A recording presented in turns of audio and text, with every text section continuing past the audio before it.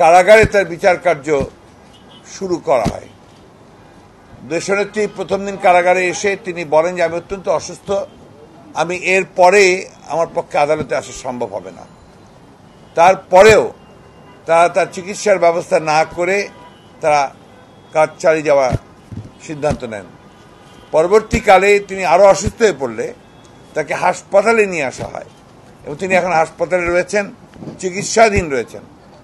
ওই অবস্থায় তারা কার্যক্রম চালিয়ে যাওয়ার চেষ্টা করে। যদিও দেশত্রী বেগম খালেদা জিয়া আদালতে প্রথম দিন যেদিন যান সেদিন বলেছিলেন যে আমি আর আদালতে আসতে পারব না। আপনারা যা খুশি করবেন।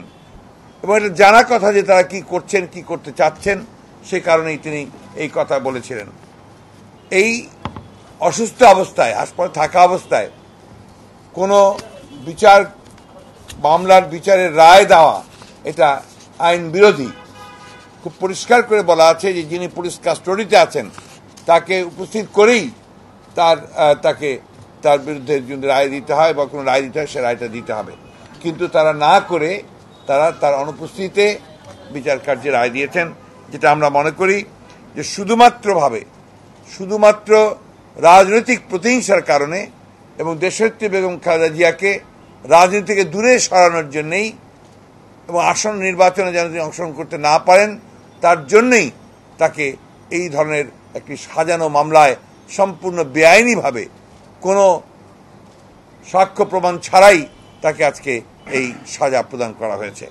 আমরা এই মনে করছি যে এই রায় কোনো মতেই ন্যায় বিচার নয়।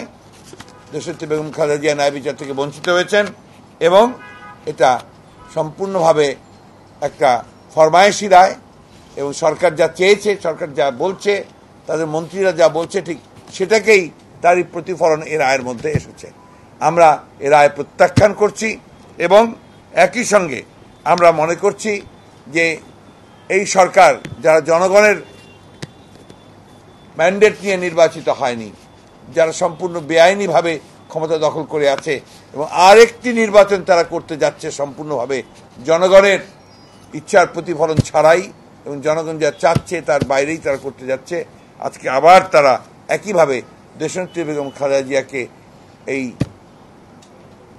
রাজনীতি থেকে এবং নির্বাচন, আসন্ন নির্বাচন থেকে দূরে সরিয়ে রাখবার জন্যেই এই রায় আজকে তারা দিয়েছে।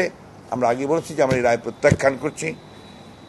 আসলে আপনারা জানেন যে এই সরকার অত্যন্ত সচেতনভাবে পরিকল্পিতভাবে বাংলাদেশ থেকে গণতন্ত্রকে অপসারিত করেছে। এখানে গণতন্ত্র বলতে কিছু নেই, জনগণের অধিকার বলতে নেই, কিছু নেই, জনগণের ন্যায় বিচারের অধিকার পর্যন্ত আজকে নেই এবং আজকে যে বিচার বিভাগকে তারা সম্পূর্ণভাবে নিজেদের করায়ত্ত করেছে, আমরা বহুবার এই কথাগুলো বলেছি যে সেখানে এই সরকারের তাদের যে হস্তক্ষেপ, নগ্ন হস্তক্ষেপ, সেটা নিম্ন আদালতগুলোতে সবচেয়ে বড় হয়ে দেখা দিয়েছে। এবং দুর্ভাগ্যজনকভাবে নিম্ন আদালতে এখন আর মানুষ কোনো ন্যায় বিচার পাচ্ছেন না।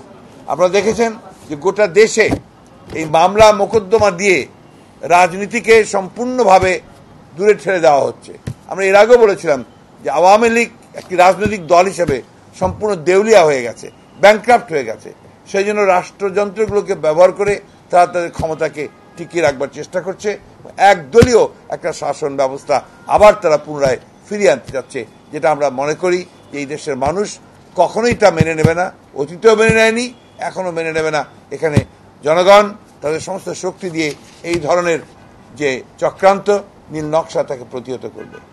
আজকে আওয়ামী লীগের মন্ত্রীরা এবং তাদের আওয়ামী লীগের নেতৃবৃন্দ, তারা সারাক্ষণই আপনার এই কথাগুলি বারবার করে বলে আসছেন যে তারা যেমন করেই হোক তারা ক্ষমতায় আসবেন এবং একদিকে তথাকথিত প্রধানমন্ত্রী, যে যিনি জনগণের দ্বারা নির্বাচিত হননি, তিনি হেলিকপ্টারে করে জনসভা করে বেড়াচ্ছেন, নৌকার জন্য ভোট করছেন। অন্যদিকে দেশত্রী বেগম খালেদাকে মিথ্যা মামলায় কারাগারে নিক্ষেপ করা হচ্ছে বা তাকে সাজা দেওয়া হচ্ছে। হাজার হাজার নেতাকর্মীকে সাজা দেওয়া হচ্ছে, মিথ্যা মামলা দেওয়া হচ্ছে, রাজনীতিকে দূরে সরে রাখা হচ্ছে।